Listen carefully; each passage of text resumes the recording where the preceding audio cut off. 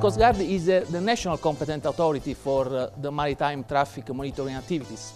Uh, it manages the Vessel Traffic and Management Information System, VTMIS, and uh, all the vessel traffic centers.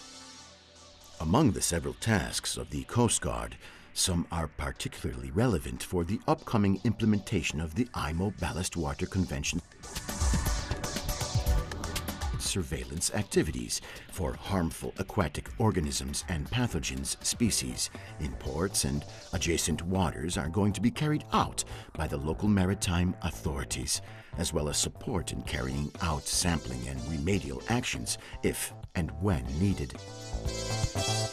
Control activities are going to be carried out by port state control officers on board of ships once the convention enters into force to verify whether the ballast water discharge is in compliance with the standard set by the IMO Ballast Water Management Convention.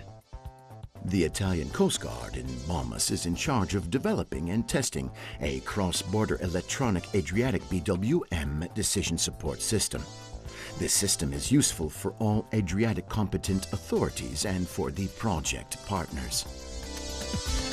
The information system will enable the fast reporting of the ballast water management information provided by the ships sailing in the Adriatic Sea. The system will also allow to have shared information among the competent authorities and maritime stakeholders. The Italian Coast Guard headquarters will host and manage the ballast water management decision support system used by its harbor offices, as well as by all the Adriatic maritime and environmental competent authorities.